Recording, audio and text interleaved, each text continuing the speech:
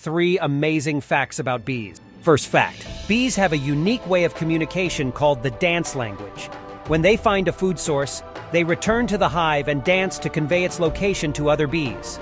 This dance involves various movements and directions that encode the distance and direction to the food source. Second fact bees possess an astonishing orientation system.